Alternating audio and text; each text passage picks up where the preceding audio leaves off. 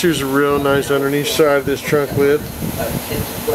If you're looking for a real nice trunk lid, rust-free for 442 any year, we have it stocked.